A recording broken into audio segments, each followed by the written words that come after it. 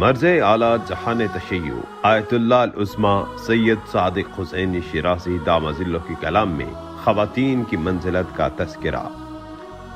رسول اللہ صلی اللہ علیہ وآلہ وسلم کی امیر المؤمنین علی ابن ابی طالب علیہ السلام سے آخری وسیعت بیوی سے محبت کے بارے میں تھی۔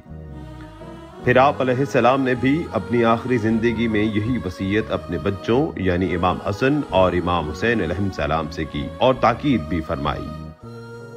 رسول اللہ صلی اللہ علیہ وآلہ وسلم اور آپ کے جانشین امیر المؤمنین علی ابن ابی طالب علیہ السلام کا یہ حکم ایک صالح اور مومنہ خاتون کی عظیم مقام و منزلت کی نشاندہی کرتا ہے۔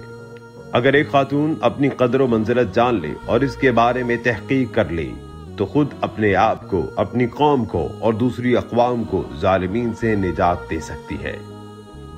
ایک خاتون زندگی کے کسی بھی حالت میں بہترین ثابت ہو سکتی ہیں اور کسی بھی حالت میں بدترین بھی ثابت ہو سکتی ہیں۔ البتہ اس کا انحصار عقل پر ہے۔ جو اللہ تعالیٰ کی جانب سے مرد اور زن کے لیے ایک نایاب ہدیہ اور خدا دادی قوت ہے۔ اس معنی میں کہ عقل سے اچھا استفادہ بھی کیا جا سکتا ہے اور اسے نظر انداز کر کے چھوڑا بھی جا سکتا ہے، جس کے نتیجے میں انسان بہترین یا بدترین ہو سکتا ہے۔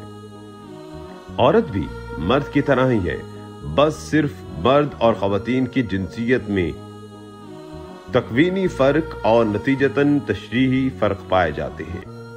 مرد و زن میں یہ تکوینی اور تشریحی فرق اللہ تعالیٰ کی بالغہ حکمت کی وجہ سے ہے۔ لیکن اس فرق کے باوجود خواتین بھی مردوں کی طرح ترقی کر سکتی ہیں اور جس مقام کو چاہے وہاں تک پہنچ سکتی ہیں۔ اللہ تعالیٰ نے خواتین اور مردوں دونوں کو عقل کی قوت سے نوازا ہے۔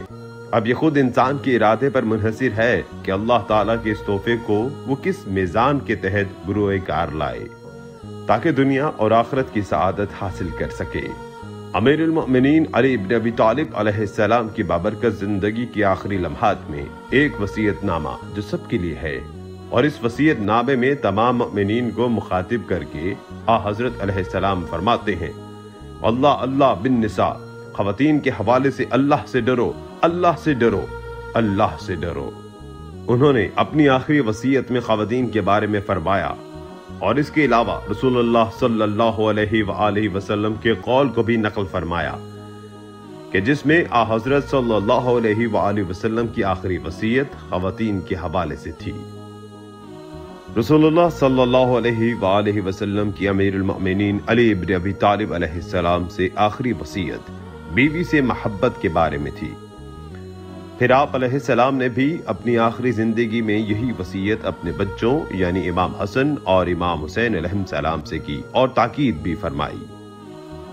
رسول اللہ صلی اللہ علیہ وآلہ وسلم اور آپ کے جانشین امیر المؤمنین علی ابن ابی طالب علیہ السلام کا یہ حکم ایک صالح اور مومنہ خاتون کی عظیم مقام و منزلت کی نشاندہی کرتا ہے۔ اگر ایک خاتون اپنی قدر و منزلت جان لے اور اس کے بارے میں تحقیق کر لے تو خود اپنے آپ کو، اپنی قوم کو اور دوسری اقوام کو ظالمین سے نجات دے سکتی ہے۔ ایک خاتون زندگی کے کسی بھی حالت میں بہترین ثابت ہو سکتی ہیں اور کسی بھی حالت میں بدترین بھی ثابت ہو سکتی ہیں۔ البتہ اس کا انحصار عقل پر ہے۔ جو اللہ تعالیٰ کی جانب سے مرد اور زن کے لیے ایک نایاب ہدیہ اور خدا دادی قوت ہے۔ اس معنی میں کہ عقل سے اچھا استفادہ بھی کیا جا سکتا ہے اور اسے نظر انداز کر کے چھوڑا بھی جا سکتا ہے، جس کے نتیجے میں انسان بہترین یا بدترین ہو سکتا ہے۔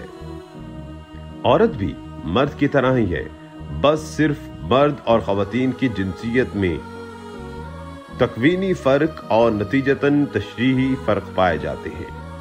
مرد و زن میں یہ تکوینی اور تشریحی فرق اللہ تعالیٰ کی بالغہ حکمت کی وجہ سے ہے۔ لیکن اس فرق کے باوجود خواتین بھی مردوں کی طرح ترقی کر سکتی ہیں اور جس مقام کو چاہے وہاں تک پہنچ سکتی ہیں۔ اللہ تعالیٰ نے خواتین اور مردوں دونوں کو عقل کی قوت سے نوازا ہے۔ اب یہ خود انسان کے ارادے پر منحصر ہے کہ اللہ تعالیٰ کے اس تحفے کو وہ کس میزان کے تحت بروئے کار لائے تاکہ دنیا اور آخرت کی سعادت حاصل کر سکے۔ امیر المؤمنین علی ابن ابی طالب علیہ السلام کی بابرکت زندگی کی آخری لمحات میں ایک وسیعت نامہ جو سب کے لیے ہے اور اس وسیعت نامے میں تمام مؤمنین کو مخاطب کر کے آ حضرت علیہ السلام فرماتے ہیں، اللہ اللہ بن نساء، خواتین کے حوالے سے اللہ سے ڈرو، اللہ سے ڈرو، اللہ سے ڈرو۔ انہوں نے اپنی آخری وسیعت میں خواتین کے بارے میں فرمایا اور اس کے علاوہ رسول اللہ صلی اللہ علیہ وآلہ وسلم کے قول کو بھی نقل فرمایا کہ جس میں آ حضرت صلی اللہ علیہ وآلہ وسلم کی آخری وصیت خواتین کے حوالے سے تھی۔